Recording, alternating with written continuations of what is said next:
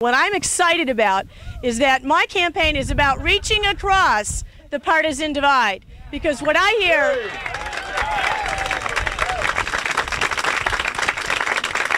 We are too polarized as a nation, and the partisanship has become too extreme and it's hurtful because there are so many common ground, common sense solutions that we can find if we'll work together. So I'm excited to have support from Democrats, Republicans, independents, students, seniors, everybody who cares about our There you future. go. Say Brock, high school teacher from Stevenson How are High? School. How about a message to high school students about why they should vote? Well, this is going to be an election that affects you guys more than almost anybody because uh, when you think about budget deficits and whether there's going to be enough money for uh, all the things that we need to do uh, for the future, when you think about war and peace and, and the young people who bear the brunt uh, of a lot of the decisions we make, it's absolutely critical that you guys recognize you have more at stake than anybody in this race. I hope that means you uh, turn out to vote because uh, you guys are really going to be our future, and it's important for you to start asserting that leadership now. Democratic Party a big tent this this election? Uh, we want all of you to vote, no matter what your party affiliation. Uh, but let me suggest to you that uh, the Democrats seem to know what they're talking about. Election day. Election day. Tom, what are we about to do on the chalkboard? What are you going to do? Huh? What's on the chalkboard? Oh, the message of the day is to do what, Teddy? Vote. Vote. Let's see, what's it say? Tom Conneen and Ted Conneen.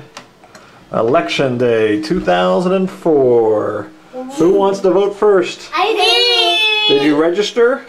Yeah. Okay. Did you register? Yeah. Turn those lights on. All right, Teddy gets to vote first. Mom, can you help him? Or do you want to tape? Hi. Hey, happy election day. Oh, excuse you. All right, now here's how we do this. Here's the instructions. If you want to vote for Bush, you color in that square, all right? Okay. And if you want to vote for Kerry, you color in that square.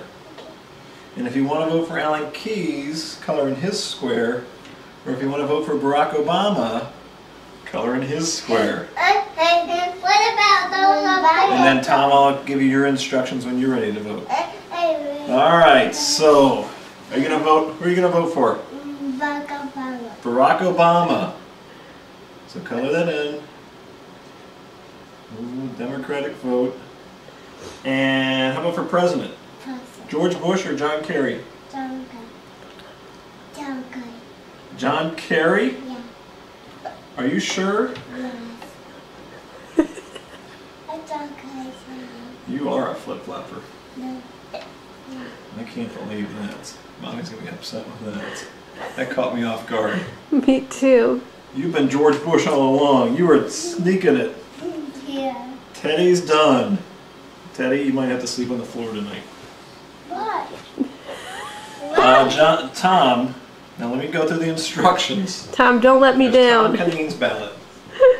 Yeah, watch out. If you want to vote for George Bush, you go right there.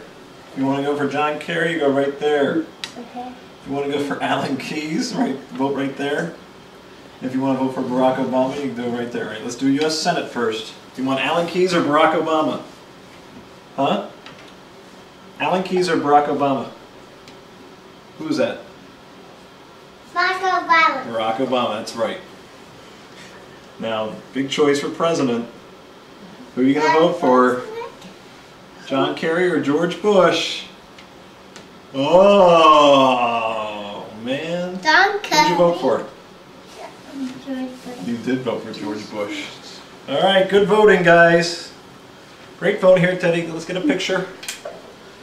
Let's get, oh, good voting. And you're red, white, and blue. Red, white, and blue. Teddy. Teddy, you might be in trouble. Teddy, look at No. mommy. Do you feel good about that vote? Huh? Will you be able to go to sleep tonight with that vote? Okay, then don't wake mommy been- up. He hasn't been going to sleep, period. Maybe that's why he's been so restless at night. He's been worried. Tom, where are you? Back up. Why? You feel good about your vote? No. Why not? Because he's mopey today. Teddy, Is that why you've been so restless recently? Because you had a little secret that you were going to vote for John Kerry? Huh? You're a little mischievous one, aren't you?